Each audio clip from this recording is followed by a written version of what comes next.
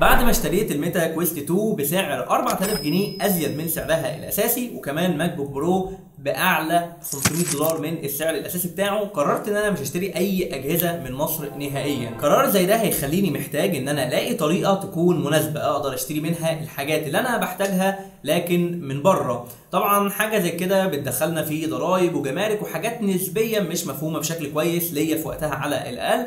وبالتالي بدأت إن أنا أدور إيه الطرق اللي ممكن تخليني أشتري أجهزة من بره بسعر كويس. الفترة الأخيرة أنا جربت أكتر من طريقة وحابب إن أنا أشارك التجربة بتاعتي معاكم بحيث لو حد حابب يشتري حاجة بسعر أقل من السعر بتاعها هنا في مصر يقدر يعمل ده إن شاء الله بسهولة. وللتأكيد برضو قبل ما تعمل أي اوردر من أي مكان اتأكد إن المكان ده موثوق وإنه حقك مضمون. الشهر اللي فات ده كان في بعض الحاجات اللي محتاج أجيبها والحاجات دي لو كنت هجيبها من مصر كانت هتكلفني تقريبا 25000 جنيه. وده مبلغ كبير جدا حوالي أزيد 10000 جنيه عن سعرها الأساسي. فدخلت على امازون أمريكا وجبت المنتجات دي حطيتها في ال cart وحطيت العنوان بتاعي مصر واتصدمت بال 600 دولار جمارك اللي مطلوبة وبالتالي برضو ضعف ثمن الحاجة فأكيد ما عملتش ال order بالشكل ده وبدأت أدور على طريقة بديلة. فرحت على العنوان وغيرته إلى الإمارات ولقيت هنا المبلغ مرة واحدة بتاع الجمارك والشحن وكل الكلام ده نزل لحوالي 80 دولار أو أقل كمان. ده غير كمان لما جيت عملت order لقيته مديني خصم 50 دولار كمان حاجة كده مش عارف ما بنشوفهاش أي حتة تقريبا. المهم طلبت الحاجات دي على صديق ليا في الإمارات. ولو بتسأل ليه الإمارات تحديدا فالموضوع ببساطة ليه أكتر من سبب. أولهم إنه الضرايب والجمارك والحاجات دي واضحة وقليلة. يعني 80 دولار بالنسبة ل 600 دولار اللي كانت هتيجي على مصر المبلغ فيه فرق جبار طبعا. والحاجة الثانية إنه الإمارات في ناس نازلة من الإمارات لمصر بشكل مستمر. فكنت بقى يعني على أمل إنه لما الحاجة توصل هبعتها لحد يكون نازل مصر ويجيبها معاه ولو ما كنتش لقيت على حد علمي تذاكر الطيران رخيصة جدا فسهل إن أنا ألاقي حد أديله مقابل ويجيب الحاجة معاه لمصر. يوم 14 المفروض إن أنا عملت الأوردر ما بين 14 ويوم 20 بدأ يتحرك من مكان للتاني في أمريكا. بعد يوم 20 على طول اتحرك من أمريكا إلى الإمارات. يوم 25 المفروض إن هو كده وصل فيه المكان للامارات ومن يوم 26 بدأوا إن هم يحاولوا يوصلوه لكن هنا لسبب ما حصل مشكلة في العنوان وعدلنا أكتر من مرة لحد ما وصلوها في الآخر بعد 29 أو كمان في 4 أكتوبر. ما أعرفش ليه خد الوقت ده كله. الحاجة كانت موجودة في الإمارات عادي وحصل مشكلة في التوصيل وبدأوا يأخروا أكتر من مرة. أنا مش قادر أفهم ده ليه خالص. لكن الحمد لله الحاجة في الآخر وصلت بشكل ممتاز. آه في حاجة كمان حصلت حابب أنوه عنها ما أعرفش إيه المشكلة بالظبط بس لما الحاجة وصلت طلبوا مبلغ جمارك فأنا استغربت لأن المبلغ ده أنا already دافعه. ولما قارنت المبلغ ده بالمبلغ اللي أنا already دافعه على الموقع لقيته هو هو المبلغ. فتواصلت مع الدعم ووضحت لهم إنه إيه المشكلة اللي حاصلة أو سألتهم إيه المشكلة اللي حاصلة فقالوا لي دي غلط من عند شركة الشحن. ومفيش أي مشكلة خالص ادفع المبلغ وهنرجعه لك على حسابك البنكي.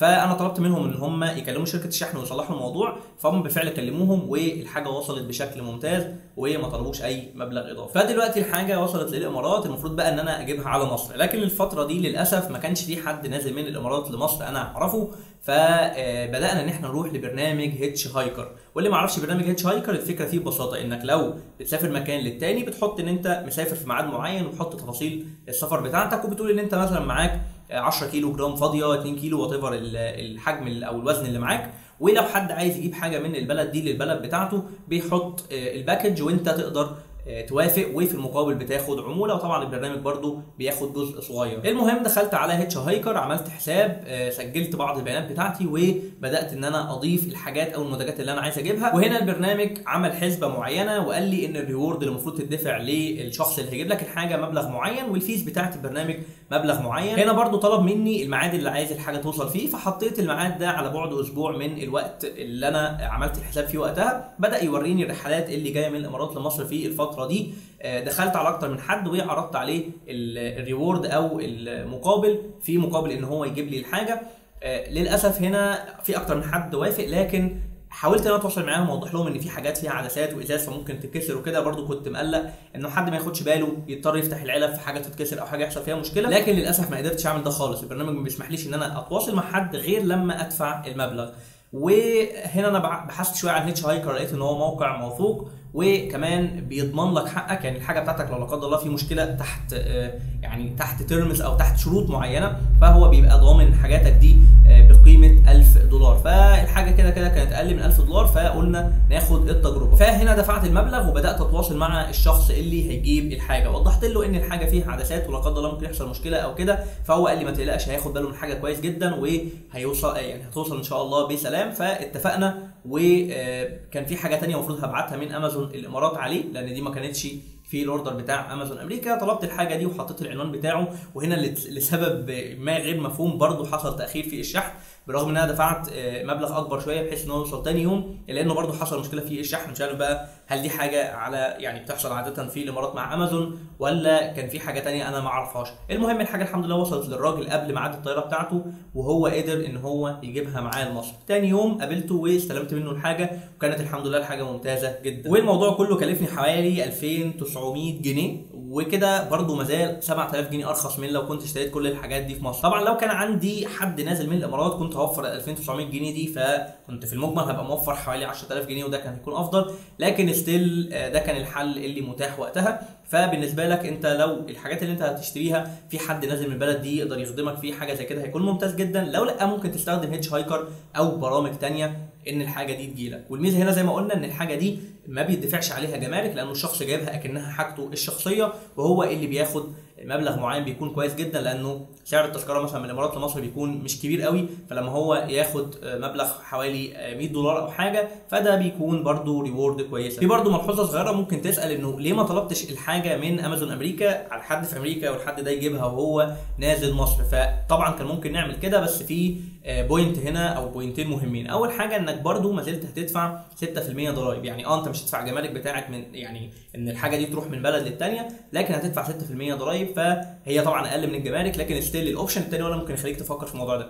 وهو إنه تذكرة الطيران من أمازون آه sorry من أمريكا إلى مصر غالية مقارنة بالإمارات لمصر. فالشخص اللي هيجيب الحاجة دي معاه من أمريكا غالبا هيطلب reward أكتر. طبعا أنا ما جربتش ده بنفسي فمش متأكد من المعلومة دي 100% بس حاجة حبيت برضو أشاركها معاكم فتفكر فيها. لو بعت الحاجة على الإمارات ممكن المبلغ اللي هتدفعه في الجمارك أكتر شوية لكن ممكن تلاقي نفسك هتوفر فيه الشخص اللي نازل وهيجيب لك الحاجة معاه. في برضو ملحوظة تانية حابب أقولها وهي الشخص اللي هيجيب الحاجة معاه حاول تبقى عارف ومعرفه الحاجة اللي هو هيجيبها دي. يعني هو دلوقتي لو معاه نازل ومعاه آيفون بتاعه ومعاه آيفون كمان جايبه هدية لحد أو جايبه لنفسه أو هيبيعه وات وأنت طالب آيفون. وفي لسبب ما يعني حاجة بتقول إنه الشخص ينفع يخش باتنين موبايل بس. فساعتها الموبايل التالت ده هيتجمرك أو ممكن يضطر إن هو يدخله من غير كرتونة أو ممكن يسيبه في في في المطار أو في الجمارك ما أعرفش بالظبط وتضطر أنت بقى اللي تروح تخلص الحاجة زي كده. فتجنبا إن مشكلة زي دي تحصل حاول إنك تتكلم مع شخص تفهم إيه الحاجات اللي هو جايبها معاه وتفهمه بالظبط الحاجة اللي انت هتجيبها. وابحث شوية بحيث تعرف إيه الحاجات اللي ممكن تتجمرك في حالة انه العدد بتاعها زاد عن حد معين. أخيرا إحنا عملنا برضو فيديو تاني بيتكلم عن الشراء من أمازون اليابان. والفكرة هنا انه أمازون اليابان لما بتطلب منه حاجة وتجيلك على مصر غالبا بتكون برضو أرخص بس هنا بقى ما بتحتاجش تعمل اللفة بتاعت تطلب من أمازون أمريكا أو الإمارات بعد كده تشوف حد نازل لا هو من أمازون اليابان لحد بيتك على طول وبتدفع مبلغ معين بيكون محدد قبلها. والموضوع كده خلص والدنيا بتكون ممتازة جدا. فلو حابب تعرف تفاصيل أكتر عن الموضوع ده روح اتفرج على الفيديو. إن شاء الله يفيدك ويعجبك. أنا حسام الدين حسن شكرا جدا إنك اتفرجت على الفيديو ده لحد هنا. لو كان أفادك وعجبك يا ريت تعمله share علشان عدد أكبر يستفيد منه. ولو كنت مهتم بال technology والواقع الافتراضي تحديدا اشترك دلوقتي في القناة. هو ده اللي إحنا بنتكلم عنه على القناة هنا واللي هنفيدك بيه إن شاء الله.